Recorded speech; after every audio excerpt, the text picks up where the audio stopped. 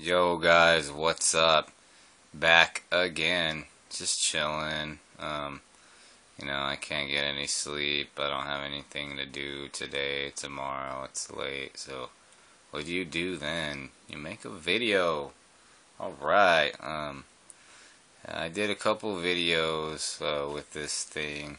This is the Chuwi VI8 dual boot tablet. Um, you know, it comes with the Android 4.4 and Windows 8.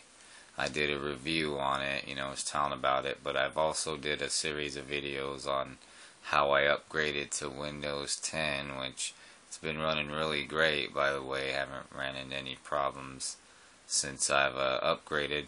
But what I thought I'd do was, um, there's another program I use quite a bit that I've, I've been using for years, and um, I use it on various uh, platforms. Uh, Kodi, formerly known as Xbox Media Center, or they also gave it the name uh, XBMC for Xbox. Um, yeah, they also have it for you know tablets too.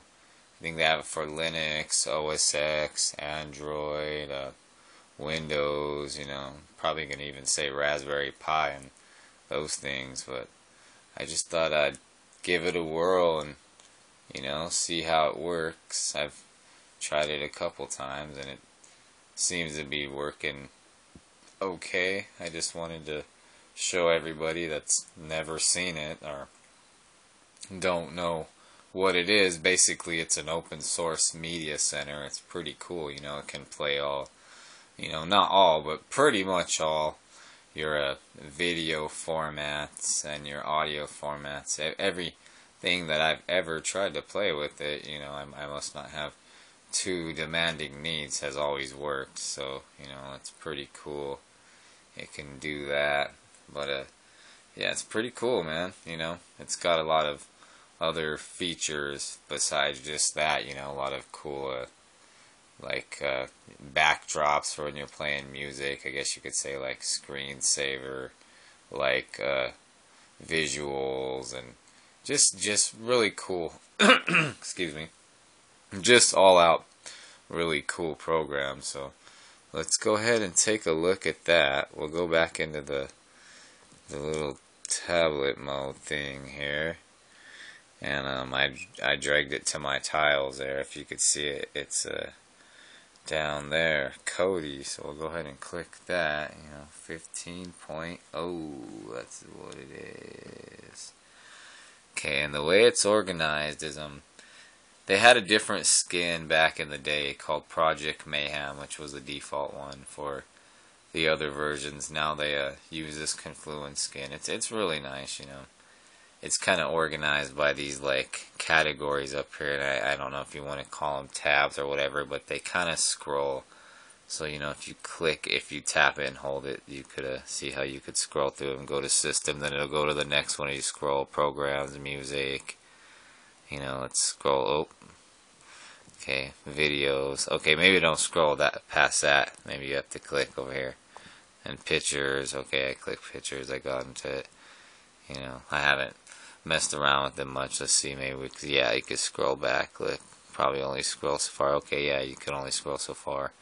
And you know, you click the the appropriate menu wherever you want to go. It opens, but with these menus, some of them have subcategories. Like if you notice, we're in the system menu. There's settings, tab, file manager, profile, system info. If you go to the next one, program, you know, it just opens. There's a nothing there. Go to music, you know, music will open. There's nothing there. So um, yeah, that's pretty much how it's organ organized. If you want to exit the program, there's a little button in the corner. You know, that's with your little typical power button. You'll just go ahead and click that, and then you got options, exit, power off system, custom shutdown timer, suspend, hibernate, reboot.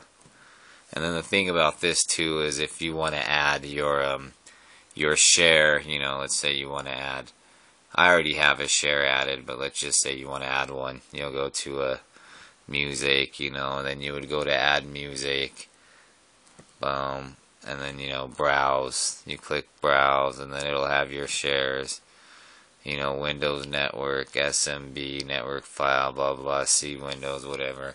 So you would just go ahead and pick whatever you want there and then add it. So you know i already have mine added to the music.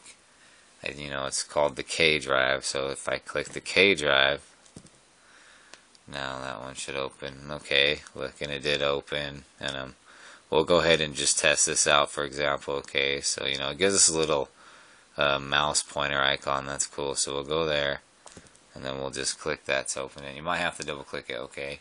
And it looks like it opened it so then I'll just click a track and so cool yeah that's how um, Kodi works you know? You just add stuff to it and play it and it's really cool.